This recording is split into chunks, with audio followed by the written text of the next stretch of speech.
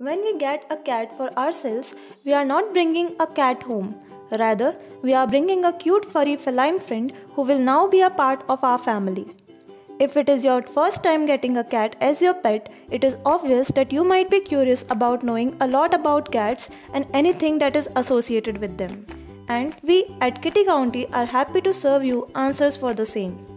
So, the first question that I am going to address in this video, which was asked to me quite a lot, was when do cats stop growing? So that you may understand how long it takes for a kitten to fully grow into an adult cat, and also what are some aspects of cat's health that you need to take care of for her to grow healthily. So, when do cats stop growing? If we talk about kittens, the fastest growth in them will happen in the first 6 months it is between 6 to 12 months you will start seeing your cat to achieve its maximum physical development. Also, one important thing that you must know is that irrespective of the time I stated above, some breeds of cats achieve complete physical growth in as quick as 7 to 8 months. Whereas breeds like the Maine Coon keep growing even after they are 2 years old. So this implies that growth may vary because of breeds. In addition to this, new cat parents often wonder how to project how big my cat will get. To this, I would say it will depend upon what breed your cat is.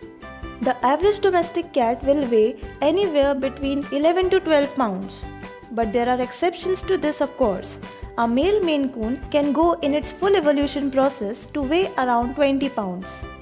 There is a myth in cat lovers that a size of a cat's paw depicts how big or small a cat will get.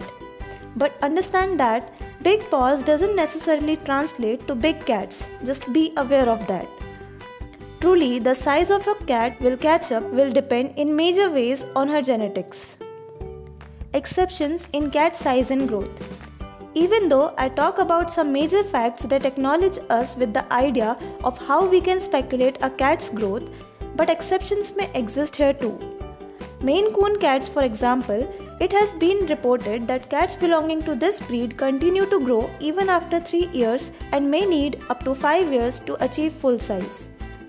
On the other hand, cats with dwarfism due to genetic mutation and pituitary gland issues can be oddly small.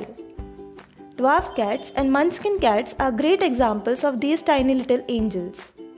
So this was it as far as a comprehensive knowledge on the topic is considered.